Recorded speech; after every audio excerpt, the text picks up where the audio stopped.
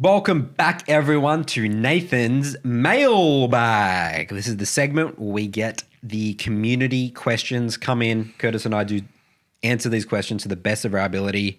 If you want to write in, broken by concept show at gmail.com. The mailbag's always piling up, but you know, sometimes we get a bit of a dry spell, so we might be started approaching there a little bit. We've been powering through the questions now that we have a dedicated uh, video to it. So send them in. We'll happily respond. And again, if you sent it in ages ago, it's probably long lost. Sometimes you've got to bump it up. bump it up again. Yeah. Even if you just reply to that email saying bump. Yep.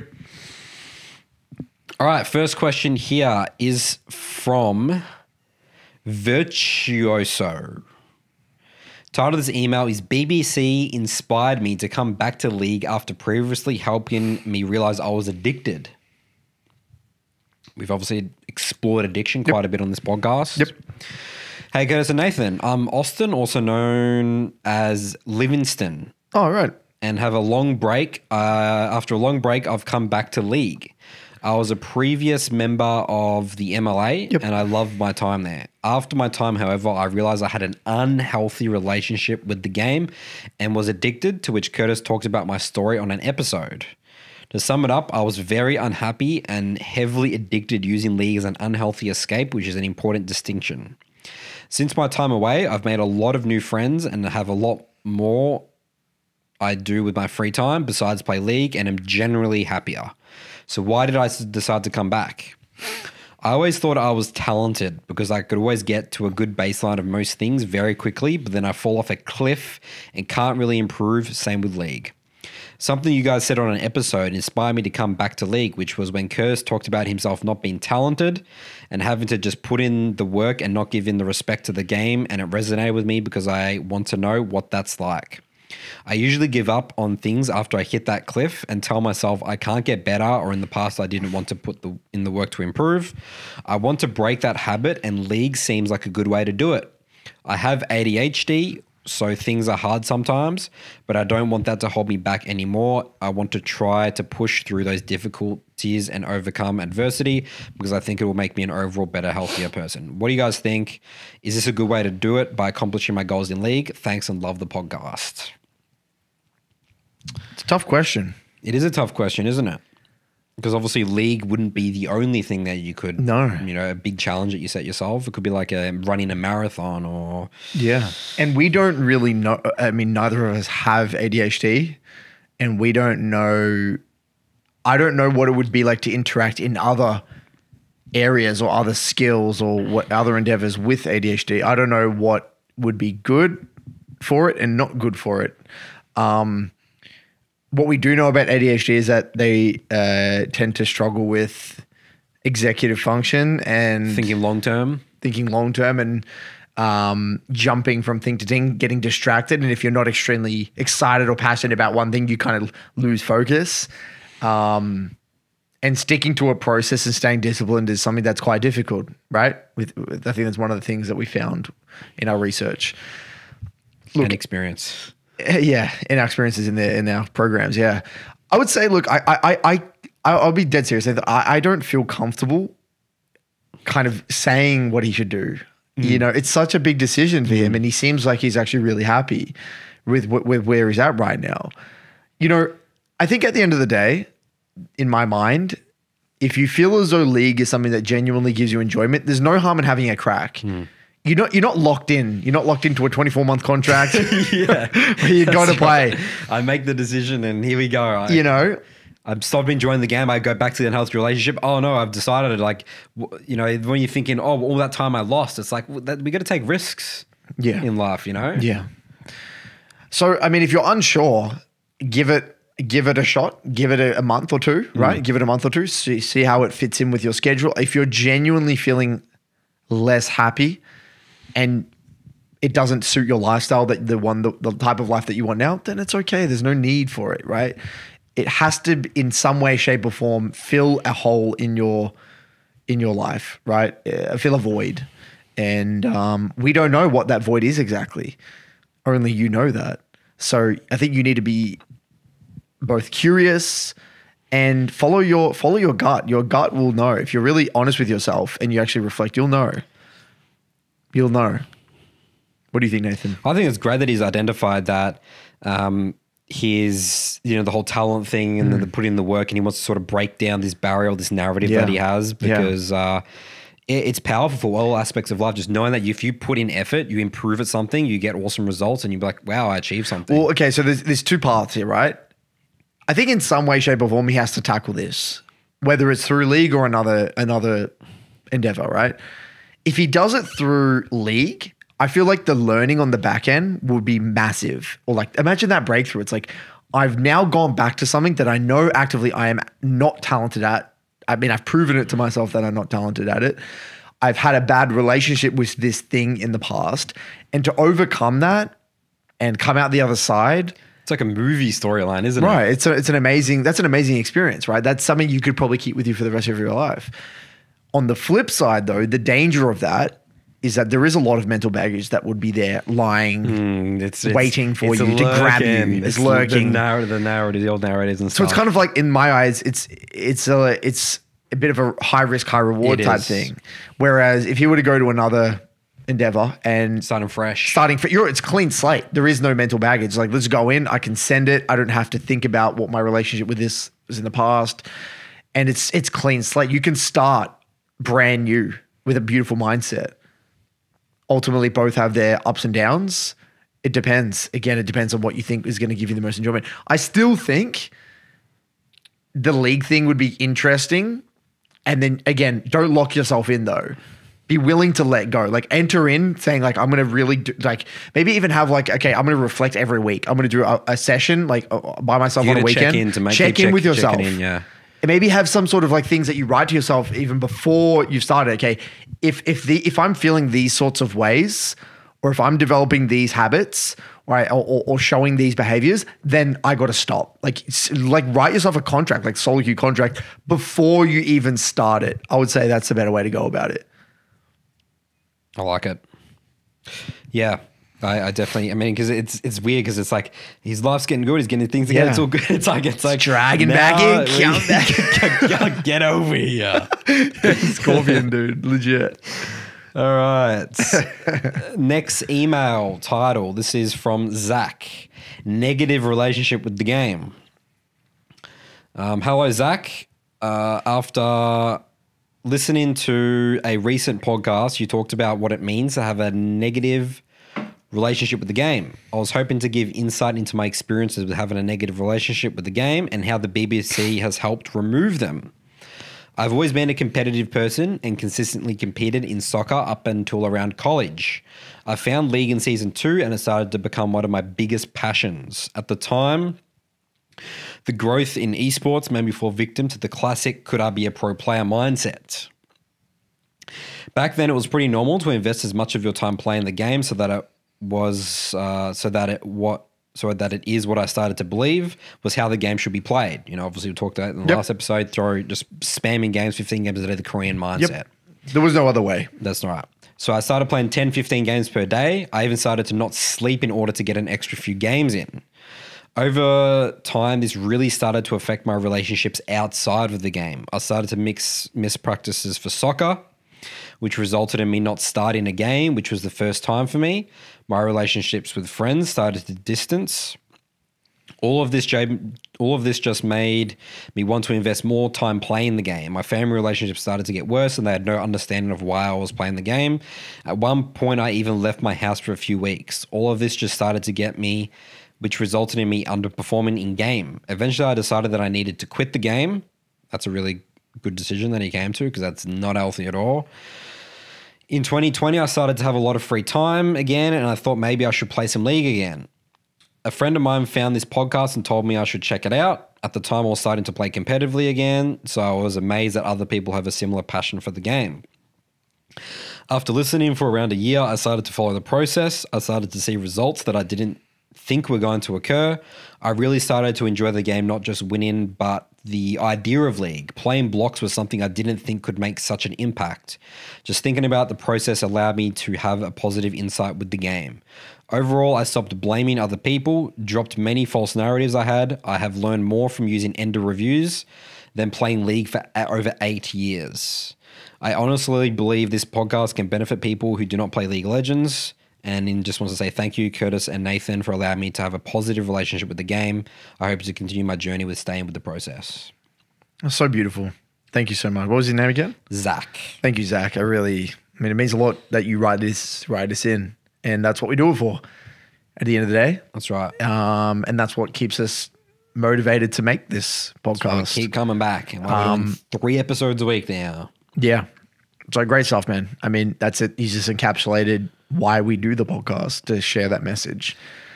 And Zach's an ex- this is an extreme That's an- case. His it's an whole life extreme was case. falling apart because of League of Legends. terrible. And it's just great again to highlight this is the reality. This is the reality for a lot of people. Guys, we have a small podcast here. There's Scary. right now, this is probably happening to thousands and thousands of kids. Mm, yeah, more. More, Tens of tens thousands. of thousands, probably. Maybe even more. Even more, Maybe hundreds of thousands. I don't know numbers. We're up survey. Yeah, I don't How know. many games do you play a game? But I would say that you know what's scary is that this Zach, he could have come back to league and rinse repeated. That's right. In a way, like Yep. he could have come back in 2020 lockdown and just pissed away years again before he realizes he's in a hole. Could have gone backwards again. That's how addictive the game is. Yeah, it's the right have made a Very fantastic addictive. game. It's a fantastic game. Yeah. the ultimate uh, dopamine hits and Yeah. Uh, and challenge. The other thing as well is um, it, it's sort of like one thing. It's like you could just sort of just read this like, oh well, they found the you know Kurt podcast by Nathan and Curtis. Like, how easy is that? Like, guys, there's people in our programs that even struggle to follow the process. You know what I mean? This guy's not even in our programs. Like, He's had no one it- else to encourage him but himself, It essentially, takes, right? yeah, that's hard work, man. Very hard. You know. Props to him. He must have a lot of discipline in that sense. And he said he was watching for a year, so I don't know when he started it, but maybe Yeah. it took him a year to finally catch on. What I've noticed as well, takes from- time. Yeah, from the stories that I've heard people, um, both in, in the MLA, it a lot of the time it takes months to really internalize it. Yes. Sometimes it takes months. Sometimes some people just don't get it. Either. Yeah, that's right. That's, And that's what I think that's what we've had to come to terms with, Nathan, is that this podcast is just not for everyone. This is a, a small podcast. It's a niche podcast. That's It's- right. Our content is niche. Our programs are niche. It's for a very particular type of person. And um, I think we've had to come to terms with why isn't this clicking with everyone? It's just It's because it's so obvious to us, right? it's so obvious to us. I don't really understand how you could do it any other way, Mm. but um, it's it's something that we've just had to come to terms with, you know. And I think it's going to take a long time to to to kind of spread this message, but one at a time, right? That's right. Said, we- And then he he might have a bunch of friends that he can spread that to, right? Mm. He got it from his friend, and then uh, that's how it's going to spread. Really, it has to grow organically through word of mouth, just from people think, oh, you should check this out, have a go at that. It helped me. These are my results. That's how I did it.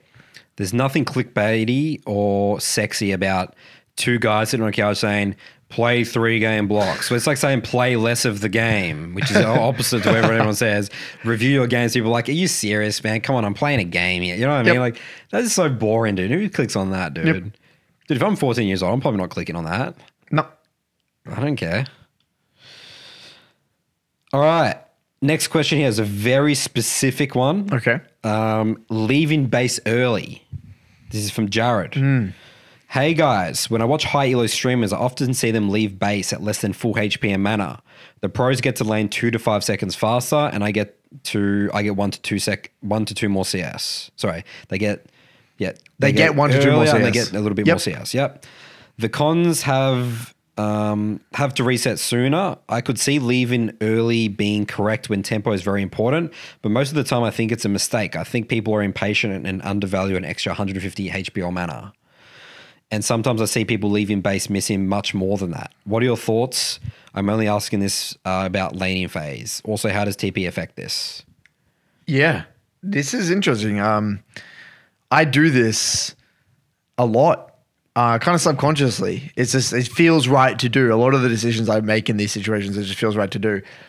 What I would say, um, i- i- okay, is this: there are sometimes situations or lane situations where if you get to lane first and you can come back and shove that first wave and get wards out, it completely changes the dynamic of the lane. Because once you get shoved in once, sometimes by particular champions, you actually can't wrestle back control once they've actually got the control because then you don't have the vision.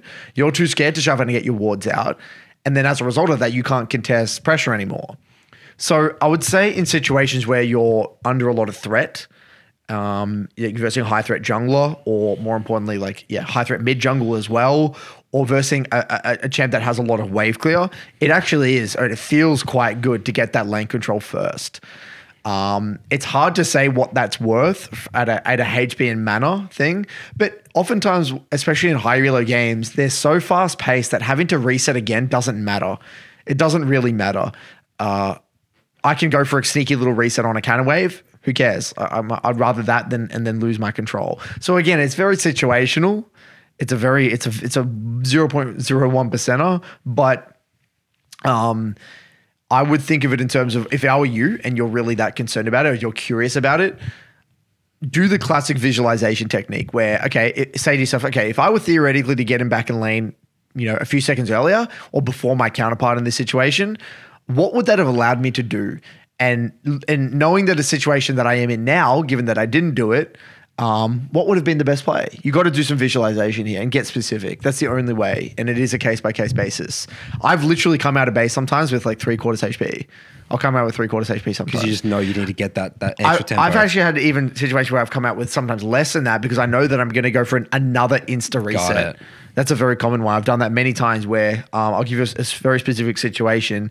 If I am playing, um, let's say I I I know the enemy has TP advantage over me, and I'm playing an Ignite mid laner. So I'm playing Ahri with Ignite.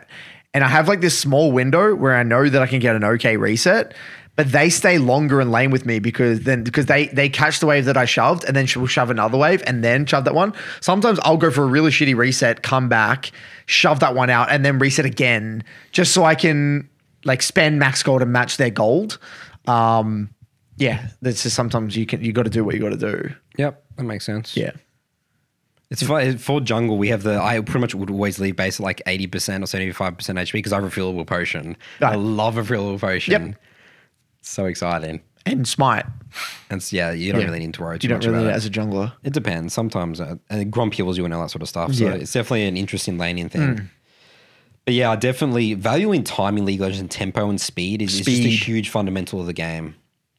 But people really struggle. That's like one thing I've noticed in my in my Mid Lane Academy. People struggle to visualize differing alternatives based off like tempo. Like they don't tempo is, is a concept that does not click.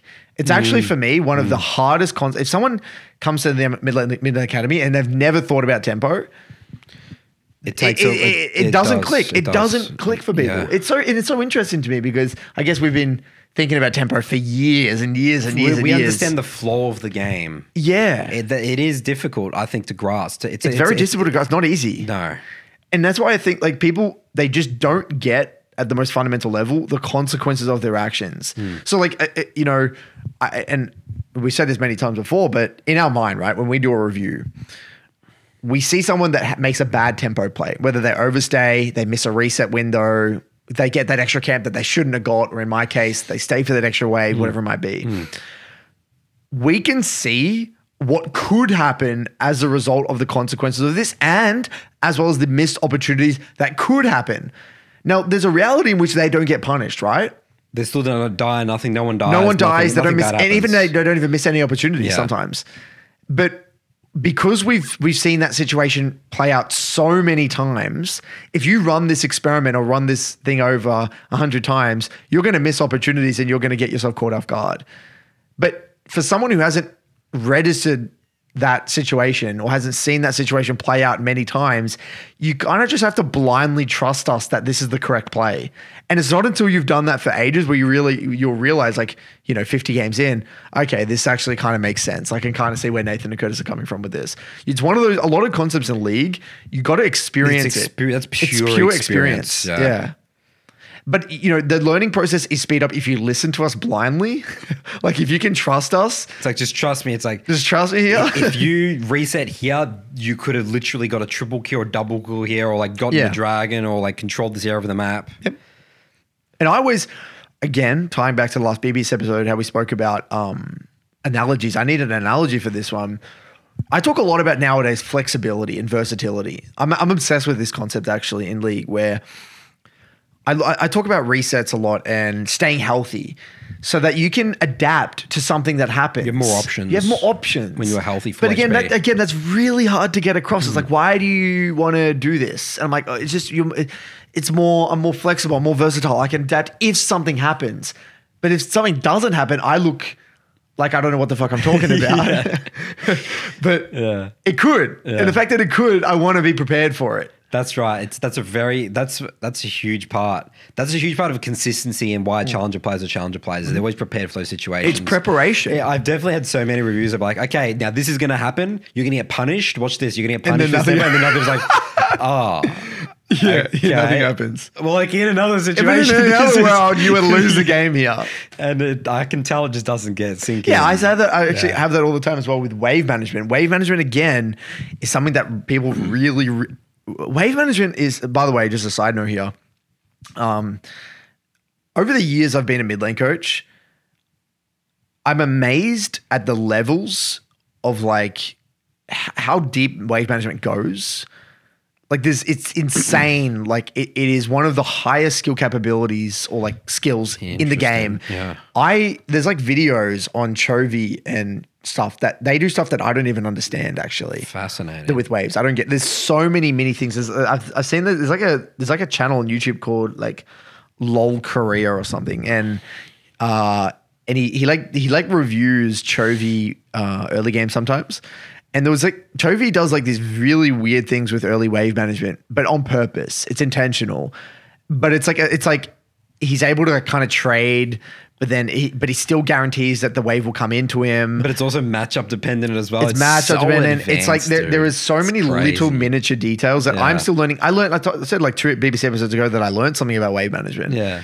Um, I'm still learning. How weird is that? I'm learning stuff about wave So management, exciting. and I played the game for 12 I years. love League of Legends. Wave management really is. It's like it's you talk about jungle clears.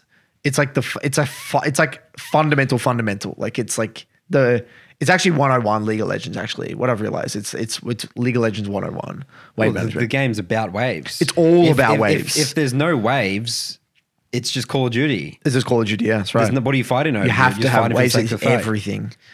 Yeah, That's where all the the vulnerability, pretty where all the pretty much if you actually think about it at a most at a really yeah, baseline level, it's it's resources, right? It's XP and gold, it's pressure, it's vision in a weird way, right? It kind of like give vision as well.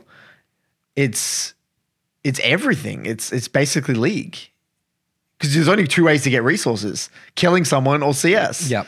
So it's half of the game. Mm, mm. it's half of the game. but the waves is also tied to the kills. That's right. Yeah. Waves are directly tied to kills. You can't just randomly kill someone. No. Unless again you're playing Call of Duty League of Legends. That's correct. So yeah, the foundation is purely everything Yeah. off waves. But but wave management, uh, just tying back to why it's difficult to to teach, is that I will in my mind, I'm like, okay, if the enemy just does this with the wave, you're going to lose lane. But then they don't do that. And then it's hard for them to really grasp it. It's like, well, if they just held the wave here instead of just mindlessly shoving you in, they just win lane. But not many people do that. It's crazy to me. Like that, that's learnt. It, it takes so long for people to learn that because it's just not pushed. It's just not pushed by people. Um, yeah, I mean, it's learning every day. Learning every day. Learning every day. That's what we do at the BBC podcast. All right, next question here. Help with reducing the mental pain of a hard loss. this phone is from Connor. Hi, my name is Connor and I'm a silver mid laner. I've been playing the game since season 10, but only started playing ranked in April. How cool is it that players start the game in season 10 there? That's crazy. That's amazing. Yeah. 2000, that's the year of COVID, dude. You started And he playing started playing ranked in April this year. Yeah. Wow. Imagine how fun that would be. Oh, go back from scratch. So fun, dude. Especially if you like, especially if you start out and you get introduced by friends, you're playing with friends, and they're sort of like teaching you all this stuff about the game and stuff, and you're just like this little curious toddler, this kid. Imagine, like, imagine so if you first say you played League, right? Yeah. For the first time, Yeah. and you got introduced to like this podcast. How how like how advan- like how much of an advantage would you be over the long run? So you're basically saying they start with the, the like the process. They're going to get to a process mindset eventually. Well, They're they, they, their relationship with the game is never really tarnished. and they're seeing the potential with the game, like like because if you think about it, right, every player has a set amount of time that they can like put into the game, Hmm. right? Like so we put in the, the X amount of years from 2015 whatever onwards, and they every year they play they're getting so much more value from their games comparatively to like a player It's who more effective. It's just more practice. effective. It's like more bang for your buck in a Yeah. way. You're you're at a huge advantage. All right, so um, I found Curtis's content in season 10 when I first started playing, but at the time wasn't able to utilize it as I still didn't know what the hell half the champs in the game did. I went back and watched his mid lane fundamental series and found it very helpful now that I know the game better and have been able to pretty easily climb from bronze 3 to silver 3 playing only Anivia. At this rank, I still find that I'm not really running into many people who are outplaying me, and I overall have a pretty solid win rate. My biggest problem at the moment is being able to mentally handle the games that are just unwinnable. I work 40 to 50 hours a week, and while I do have time to play three or so games a day, if I come home and my first game is a loss, especially a loss where I feel like I played fairly well, I usually just don't feel I can handle any more league for that day. This leads me to playing significantly less than I potentially could be, and overall not improving, as much as I could be. Is there a way to make these hard losses more bearable mentally? Ah. Yeah, I mean, there's many ra- there's many ways we can tackle this problem, right? You can tackle it from an expectations, you can tackle it from a solo queue contract perspective, um, but he's in silver, Nathan. So what does that mean? Needs games. Needs games, right? You need games. So I guess first thing that comes to mind for me is um, all of your games. What's his name? Connor. Like all of your games are going to be very chaotic, like in silver. The the everyone is no one knows what they're doing essentially, right? So you've got ten players in the game, yourself included, that are all very new, learning. Uh, don't really have a don't have a, a sophisticated understanding of the game. Um, have baseline champ mastery. So every game, no matter what, is inherently chaotic because there is no planning going on. There is no strategy essentially. So tying back in a way at a very baseline level from the solo queue contract, that has to be your baseline understanding or your baseline expectations. Like every game I get into is going to be a bit of a shit show. It's going to be a shit show, and I, there's nothing I can do about that until Even I, when know, I play, if I play well, even okay. if you play well.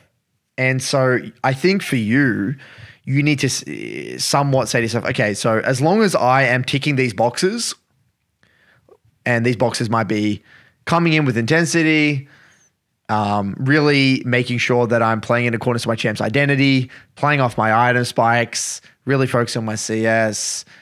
Um, as long as you're ticking like basic boxes that to you you think are quite important, then nothing else really matters. That's what you got to say to yourself. So really he's it. watched the mid lane fundamental series. So just focus on those things, Just and then basics. everything else, just keep having a crack trying to get them, do them every game, and that's it. Yep. As long as you're if it's a not dying to random ganks, you know, you're getting okay resets, you're getting decent CS, you're playing in accordance to your champ's identity. Thumbs up. With time and with games, like you said, you got the win rate. You just got to get those those games under your belt. Right? Your entire mindset right now is that it's just games, games, games. And the more games you can play with this process, the faster you're going to get out of this this rank, and then you're going to get to a high level of play, and then things will start to be a little bit different. You know, I think he, he's he's trying to. You can tell he's just a little bit impatient in that sense, isn't it? It's comes stem from a, uh, impatience, I would say. Well, that's what we talked about last episode as well, right? Just thinking about, you know, he's. I mean, he's going to be getting to to gold um, pretty soon. Um, you know, he's only been playing. He's only been playing. He's out for- ranked in eight, wait, April. Yeah, right? in April, April, May, June. He's been playing for like two, Three months. months. It's you know? ridiculous. and he's he's not even that far away from gold, which is massive, Massive. for a lot of people. It's huge. So yeah, you're doing the right thing, Connor. You know, Yeah. like let's just yeah, try keep trying to get the more games in, and And one thing I will say, even though it's hard for us to, it's, it's hard. It's sorry, it's hard for you to execute on, and it's easier for us to say. Enjoy that you're a beginner. Like I can't stress this enough. It's relax. You're gonna have a block. You haven't. You just accept that. Like everyone doesn't know what they're doing. Be curious. Have fun with it. Don't overcomplicate it. Learn to to love and, and embrace that you're a beginner. And as soon as you stop getting rid of that, get rid of the crazy expectations, you'll have a lot more fun as well. So even though they're shit fest and you might have some shitty losses, it's okay. You can still have fun in those. You can still have fun in those games. Try your best. All right, next question here is from Matt. He's from Melbourne. Nathan has me considering changing roles for a month Am I in fairyland? We love exploring fairyland Hmm. in the BBC universe. So let's read his question. Hey, Curtis and Nathan, love the show and the new Reddit Reacts videos. It's sick having BBC content all throughout the week, keeps me in check. On to my question. I was wondering if I should pursue another role for a month or so, specifically jungle. Currently, I'm a gold three top laner and a reformed Reddit analyst. So take everything I say with a grain of salt as I'm very analytical. Um, as a reformed Reddit analyst, I often have a tendency to exaggerate my knowledge of the game through regurgitating smart things I hear, or at least overgeneralized statements that sound smart, or stats such as win rates. I feel I've gotten better at this over time, especially listening to the podcast and being curious about each game. This has led me down the path of realizing how little I know about other roles. Isn't it a reformed um, Reformed Reddit analyst. It's like a, it's like it's like a, a woke Reddit analyst. You know what I mean? Isn't Right. that, it's crazy to me that because I feel I always feel like that those people can't be changed. You know what I mean? No, they definitely no. You definitely can. You just got to get perspective. I think, I think you know, like you said, he's recognized that he's analytical, maybe overly analytical, and he's in a game where you need to be very or develop your intuition. Um, yeah, I think you definitely can be changed. Yeah, maybe I'll just have a very pessimistic. View. Yeah, I think you just, you have a very pessimistic view. These guys, the Reddit reacts videos are beating me down. Yeah, they're Nah, beating me down. It makes sense. It makes sense. Um, yeah, so I think that's awesome to hear. You know, um, th- especially how he was a self. He's so honest about it as well. I was like, "This was me back. This is exactly what I did, and now this is what I'm doing now." Okay. All right, so listening to the podcast, I've heard Nathan talk about jungle, and it sounds amazing. I could 100% be in Fairyland, but he has opened my mind to a role I disregarded pursuing. I got really into chess in 2020, reaching 1600 rating, which I believe is around top 5% on chess.com. Hearing Nathan talk about jungle has drawn so many connections to my chess knowledge, like pattern recognition, chess openings, early clear, and a review after a game altering mistake. Again, I could be in complete fairyland, and that as well would be good feedback. However, it got me thinking that this role would really suit my personality, and I should try out jungle if for nothing else, then learn my what my jungle wants to do when I play lane. But also, it sounds like something I could pursue as a main secondary role if I enjoy it. If I go down this path of playing jungle, I really want to take it seriously as I don't have a lot of time to play league outside of full time work in the gym, a three block on weekdays and two on weekends. Um, my North Star, as Curtis called it, is to be a diamond level player. Should I reach a higher rank like Plat before this little jungle adventure? Am I simply wasting my time by not refining my top lane skills? Is a month such a small amount of time it wouldn't make a difference? Would love to hear your take on this. Well, when it comes to selecting a role, man, it's all about what you enjoy, what you love. And um Oh, okay, so So the part of me is like he's put a lot of effort into top lane already. yeah. Look, there's no doubt in my mind that if you join Nathan's program and given your background as being like more of like an analytical type player and person, jungle would be very suited to you and you would get results and you could get diamond. It would take time, but you could get diamond, right? There's no doubt about that. It's just whether or not that's what gives you the most enjoyment. So I think for you, for him, for him to make this decision, it would really come down to what gives him the most enjoyment and satisfaction, right? If he genuinely loves top lane and he loves the champs, like he loves the Fiora, the Camille, or the Yorick, or the whatever it is he plays, no amount of another role will give you that same satisfaction, even if you get a higher rank, because you're always going to be thinking, oh, I wish I got like to diamond with Fiora or Camille. Like you just, The, the champion aspect is important as well because Really sometimes people might like the analytical side and stuff, but the jungle champions that just don't really, you know, again, they're sort of like the Darius players, the Fiora players. It just Yeah. suits them. it suits them. I've actually had people in the MLA who they they love mid, but they don't like the champs to the point where they try to force niche mid picks when they'd be better off to actually just playing another role. Like they would actually probably have more satisfaction in another role. And they, they didn't believe in them in that academy. They say, oh, look, I just realized it wasn't for me. Um, I'm trying to play all this random stuff mid. I should just be a jungler or I should just be an AD carry, you know? So I think first things first, how attached you are, how attached you are, are you to the champs that you currently play? How attached to the champs um, you currently play? Um, or is it more you just like the the like the analytical part of the game? You're not really attached to champs. You just like the game itself, or um, or do you not? Yeah, just don't care about champs. You're just more about getting better no matter what. In the, if that's the case, then yes, I think Nathan Joyce going to jungle would would be great, and you would have a lot of fun, and you would like it. Um, but again, like I said, you don't want to waste your own time. You don't want to get there and realize, okay, I love Da- Darius and I only want to play Darius. Don't try to make Darius jungle work. It's better just to stay in top lane, right? Yeah. So uh, I guess we didn't really give him a. a, a he's got to ask some questions, some follow up questions. Well, a lot of a lot of the time, Nathan, we can't answer these questions for these people. What we got to do is ask them high quality questions so Yeah. that they can come to the solution by themselves. That's right. You know, that's what I always say. Role is always determine what gives you the most satisfaction.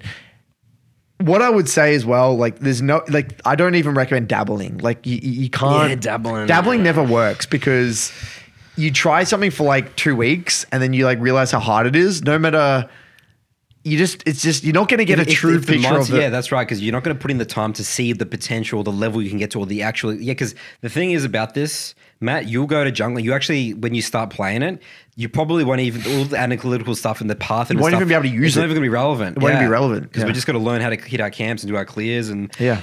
just really boring stuff to begin with. Yeah. So it would have to be like more. Yeah, the mindset again. He said wants to play change roles for a month. Doesn't work. It would have to be. I think jungle could be a way better suited role for me. I'm going to go for it, and um, if I really enjoy it, then I'm going to go all in. That's going to be the different mindset shift. Right. Compa- compared to So I play. I don't lane. know, and I just I'm not want to sure. see what jungle's dabble like. in it. Dabble, you can't. It's like you got to have the intention that you're going to commit, right? That's ideally the goal, Yeah. or the reasoning. Yeah. Yeah, I agree. I've I, I don't I, I've actually haven't come across someone that has effectively dabbled in a role and stuck to that role. Yeah. they always go back to their role. That's true. In my experience, they Yeah. join them in the academy, say, "Oh, you know, I play mid lane. I want to want it to be my main role, but I originally come from top." They go back to top more Yeah. often not, whether it's a month later or whatever. It'll Two months break, later. once it gets hard, it'll break you down. You'll go back to what Yep. you know, what you're comfortable with. Yeah, or you'll see that champion being played in a game, and you're like, "Fuck, I wish that was me." yeah, that's right. You know? you'll see that top lane of your game, like God, I could have carried this game. So it, that Yep. would happen. Or you verse time. that champion that's fed Yeah. one, one game, and that will drive you insane. It is. That's the thing about it. All right. Um, here ends the email saying, "Keep up the great work." Um, I've also sent a few clips of the podcast to my mum, and she loves it. Just to go show these concepts go beyond solo queue. Get the mums on board. Shout out BBC mums. That's right. We do have a few. We've had a few written in, right in. Remember? Yeah. We actually have a community of them. It's great. All right. Um, that's it for mailbag today. Good work, everyone. Let's keep on improving, breaking down narratives, sending questions. We'll see you next time.